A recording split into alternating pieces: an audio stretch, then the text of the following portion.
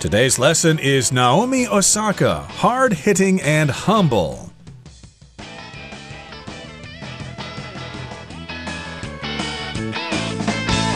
Hi, everybody. Welcome to our show. My name is Roger. And my name is Helen. And Helen and I today are going to be talking about our featured person. Naomi Osaka, she is hard hitting, but she's still a very humble human being and she's a new star in the world of women's tennis. Are you a big fan of tennis, Helen?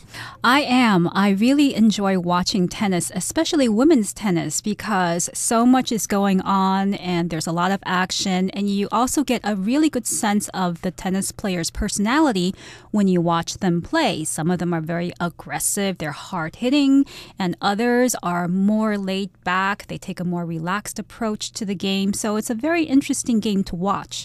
Uh huh. Tennis is one of those sports where uh, both the men and the women are popular, whereas in, say, soccer, mostly people watch the men play and not so much the women. But tennis, uh, women are pretty much equal with the men there. So we are going to be talking about Naomi Osaka today. She's kind of the new rising star in the world of women's tennis.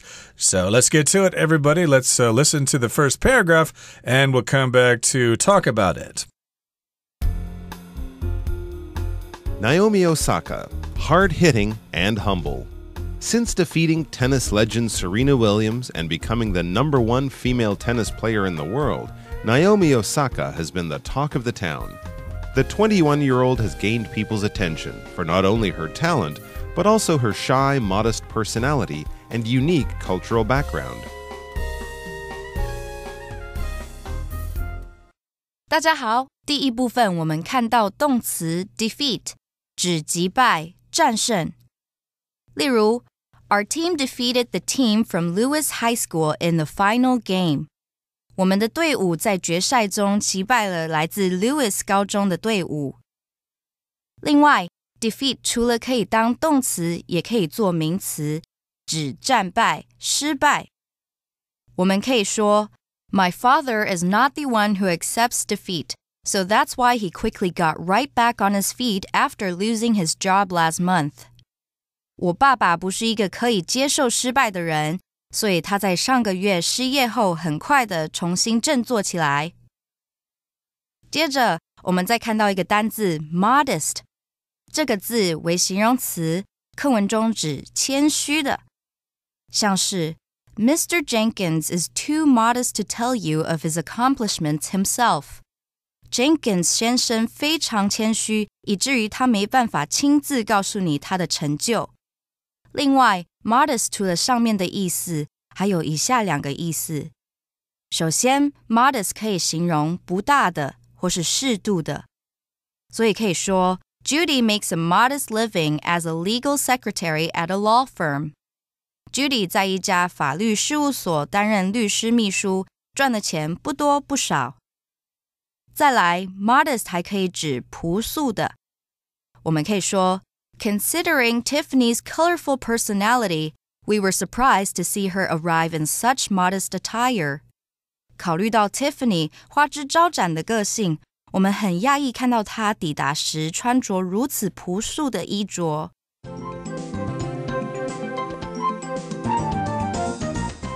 Okay, it's time for us to discuss the title of today's lesson. Let's uh, do that first here.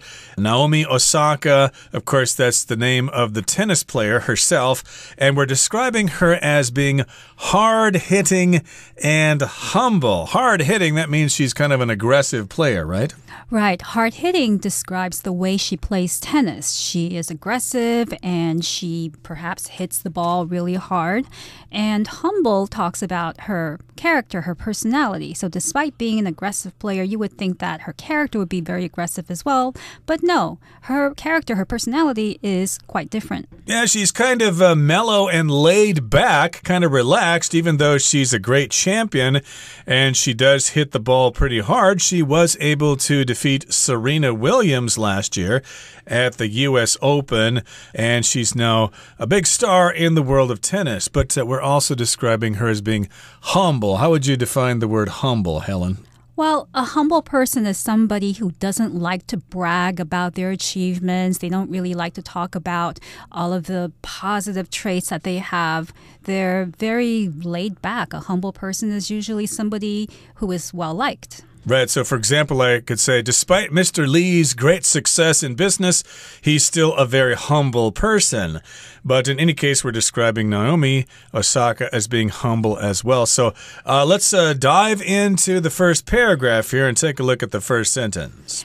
Now, the first sentence we have since defeating tennis legend Serena Williams and becoming the number one female tennis player in the world, Naomi Osaka has been the talk of the town. Indeed. So in this sentence, we've got the uh, word defeat as a verb, and then we've also got a phrase, the talk of the town. So let's uh, talk first about this vocabulary word defeating.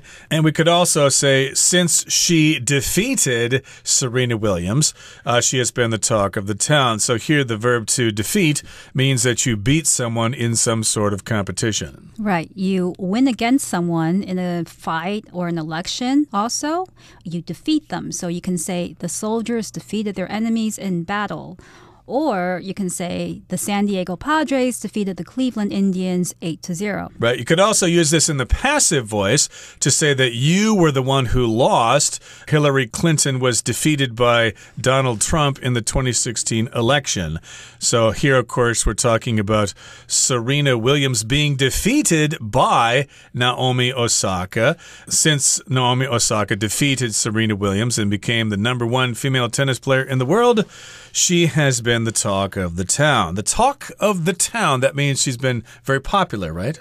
Right. The talk of the town can be a person or a thing that is talked about by many people in a city or town in an excited way. So it's usually positive when you're the talk of the town. Right. When that uh, fella down in Kaohsiung, uh, Mr. Han, won the mayoral election down there, he was the talk of the town. Everybody down in Kaohsiung, well, most people, were pretty excited about his election. He was the talk of the town.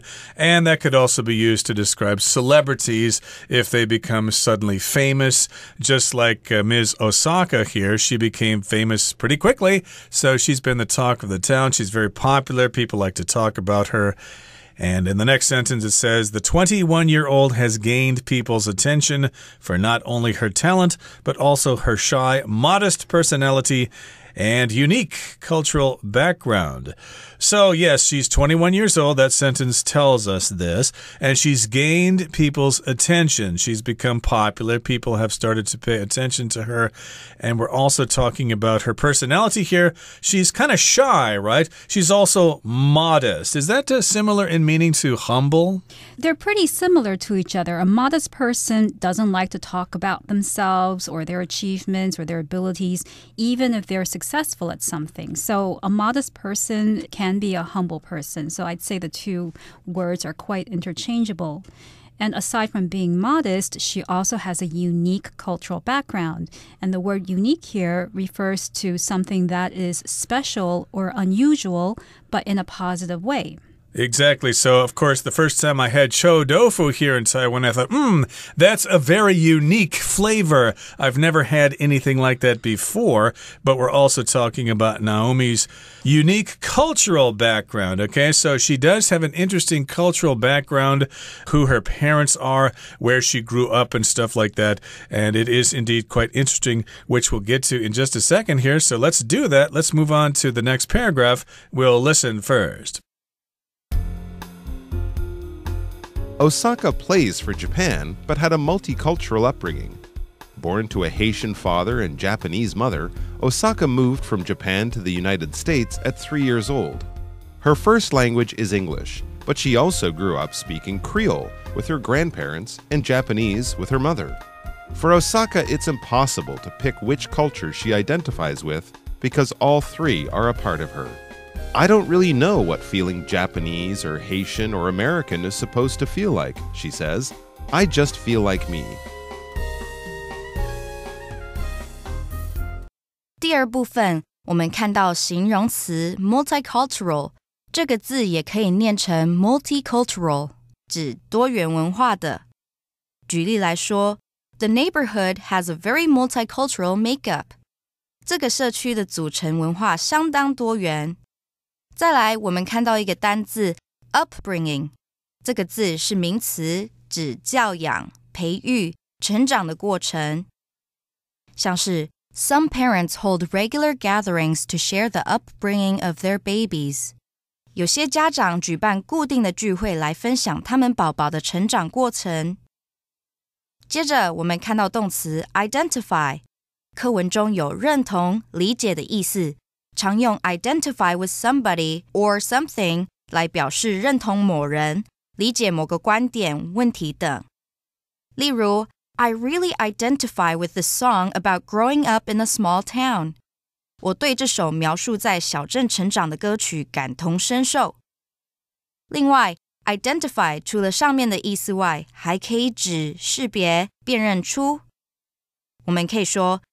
，The police asked me if I could identify the suspect among a set of photographs. 警方问我是否可以从一组照片中认出嫌犯。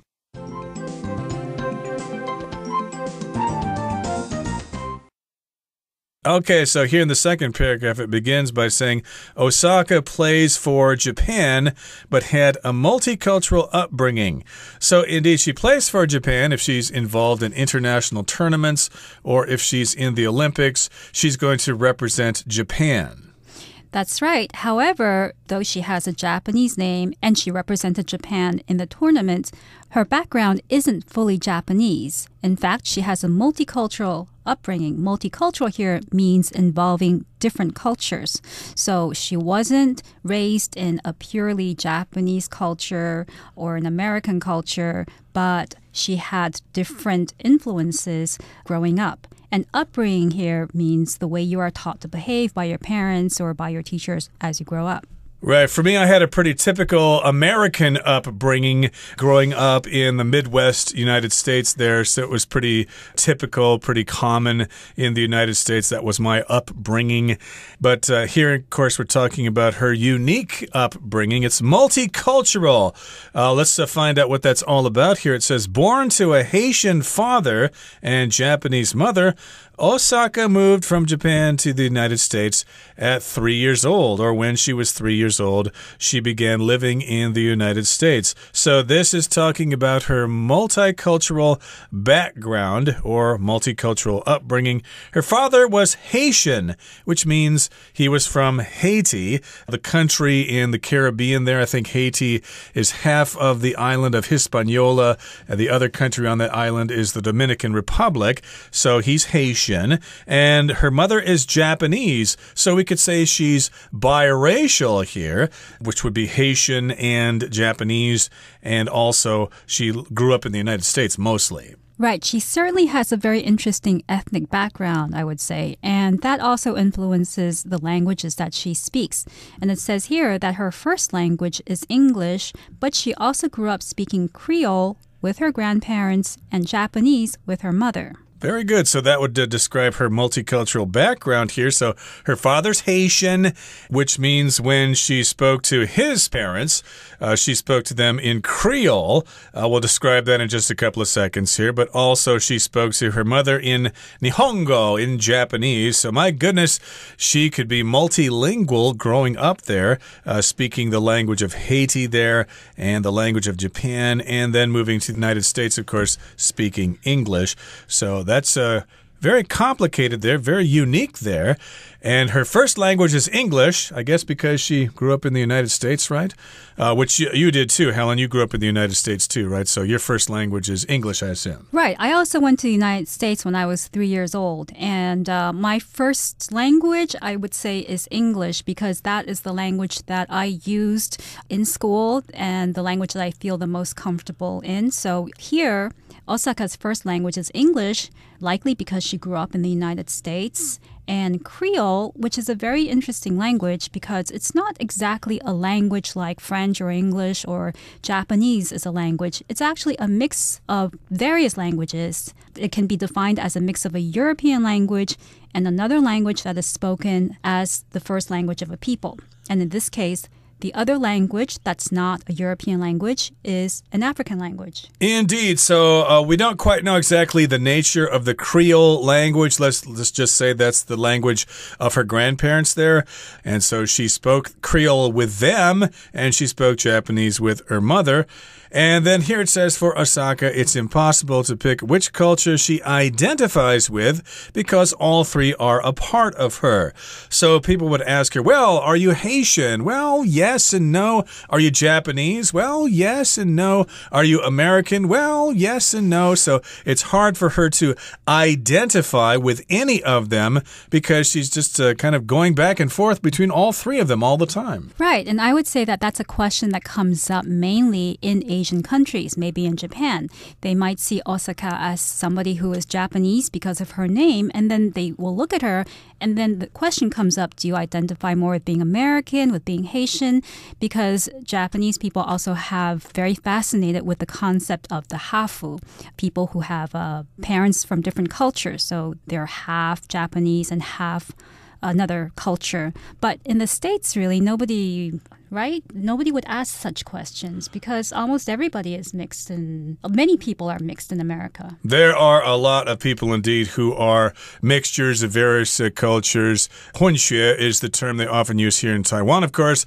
I've uh, heard the word biracial, okay? I've heard that quite frequently, but I guess in this case, she would be triracial, I guess American, Haitian, and Japanese. So uh, I guess you'd have to ask her how she would identify herself. And here the term is identify identify with. Okay, so identify is a verb here. That just means how you define yourself or what sort of qualities or characteristics you use to identify yourself or define yourself or give yourself a definition of who you are. So, do you identify with Taiwan? Well, you were born here, but you were raised in the United States. I guess I could ask that question to you, Helen. Do you identify more with Taiwan or with the United States? No, I probably identify with both countries because I have had experience living in both places. So it's very difficult to say that I identify with only one place. Okay, very good. So uh, for her, I guess she's more into her own personality, as she says here. I don't really know what feeling Japanese or Haitian or American is supposed to feel like, she says.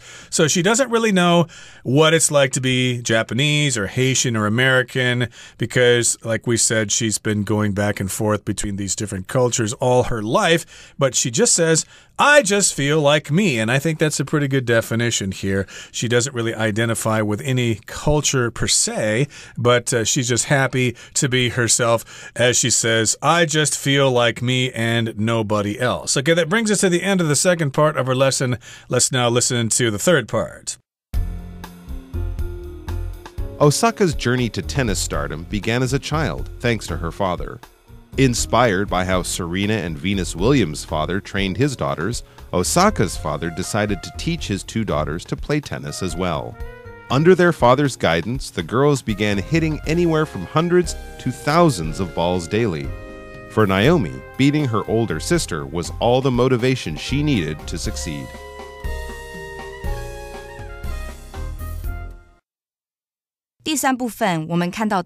stardom 这个字是名词，用来指明星地位或是身份，像是 To reach stardom, you must do something to make yourself stand out。想要有明星的地位，你必须要做些事情来让自己突出。最后，我们看到名词 motivation 有动机、诱因之意。举例来说，George said he wanted to marry Allison for love but his real motivation was her family's money. George 说是出于爱才想娶 Allison，但其实家族财富才是背后真正的原因。另外，补充 motivation 的动词 motivate，m o t i v a t e，motivate 指给予动机、刺激。所以我们可以说，The tough job market motivated Jeff to seek additional career training. 竞争的职场刺激了 Jeff 寻求额外的职业训练。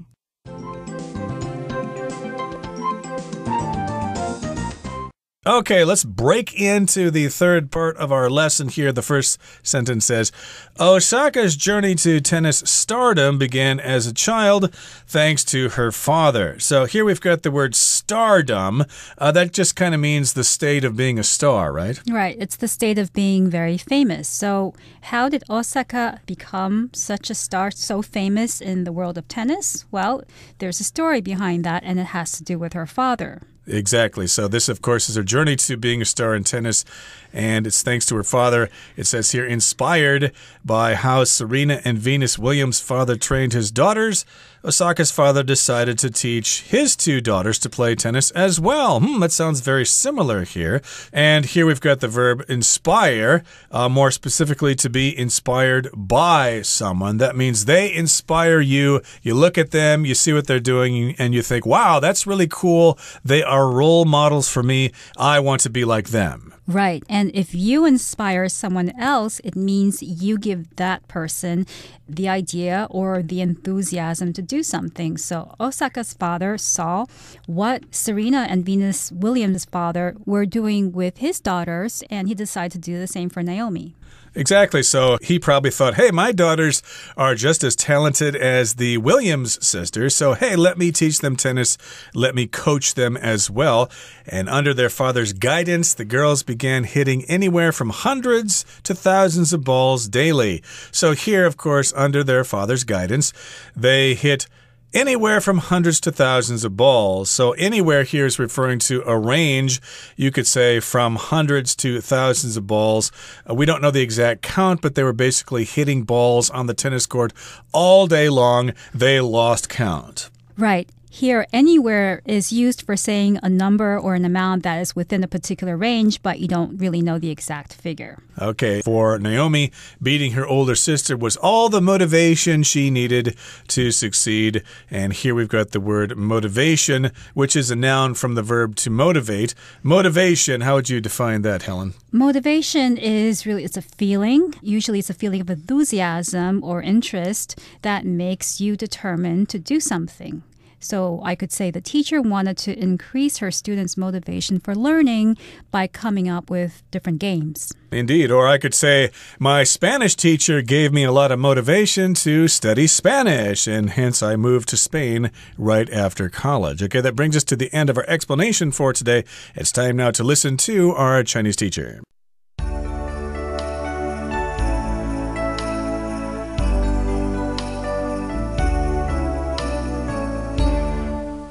各位同学，大家好，我是 Hanny。我们来看今天文法重点。课文第二部分一开始提到，Osaka plays for Japan but had a multicultural upbringing。大阪直美代表日本出赛，不过它有着多元文化的成长过程。好，句子里面的 upbringing 这个单词其实很好理解哦。Bring up，它就有养育、抚养、长大的意思。那我们把 up 移到 bring 的前面，然后在字尾加上 ing，变成 upbringing，那就表示教养、养育、培育或是成长过程。那这个单字它通常会用单数型。好，另外句子里面还用到 multicultural 这个形容词，它表示多元文化的。那这个字就是由 multi 表示许多，再加上 cultural 表示跟文化有关而组成的。好，那我们就顺便来学字首 multi 以及它相关的单字。multi 它表示许多。一个以上，或者是好几倍。像 multiple 这个字呢，它就是由 multi 加上 p l e。那么 p l e 它有折叠、重叠的意思，所以 multiple 它就有多重的意思，或是多个的。好，再来看到 multitude。它是由 multi 加上名词字尾 t u d e 而来的，multitude 就可以表达许多或是大量。那我们常常会用 a multitude of 加上名词来表达大量的什么什么。好，那其中还有 multi city 就可以用来表达多个城市的，multimedia 表示多媒体的，multi purpose 是多功能的、多重用途的，multinational 表示跨国的、多国的。还有 multilingual 表示能通多种语言的，或是使用多种语言的。好，同样在课文第二部分的最后，大阪直美说她不太清楚当日本人、海地人或是美国人该是什么样的感觉，她只觉得她就是像自己。好，这边用到 be supposed to，我们来学它的几种用法哦。第一种呢是用 be supposed to 来表达应该怎么样，被预期应该要怎么样。在这个用法里面，be 动词我们是用现在式，像是 We're supposed to meet at the library at nine a.m. 我们早上九点要在图书馆碰面。好，第二种用法是表达原本应该怎么样，却没有怎么样。那在这个用法里面，be 动词主要用过去式表达，像是 We were supposed to be at the library, but we went to the movies instead。 我们原本应该在图书馆，但却跑去看电影了。好，那第三种用法是表达某个人有责任或是有义务去做某事，像是 You're not supposed to touch the paintings，你不应该碰触那些画作。那么第四个，它是用来表达公认或是一般认为某人或某事物怎么样。当我们说 He's supposed to be the best player on the team，意思就是说一般认为他是那个球队里面最厉害的球员。好，以上是今天重点整理，我们来回顾今天的单词吧。Defeat. The British defeated the French in a battle that took place in Quebec in 1759. Legend. Usain Bolt, who holds the fastest record for both the 100 and 200 meter races, is a sports legend. Modest. Bill is too modest to admit how important his role was in this project. Unique. With his unique painting technique, Vincent van Gogh created wonderfully expressive works of art. Identify. I really identified with the character in the movie because I've been through many of the same struggles. Inspire. The speech inspired audience members to think about how their actions affect others. Motivation. Wanting to be as successful as someone you admire can be a great source of motivation.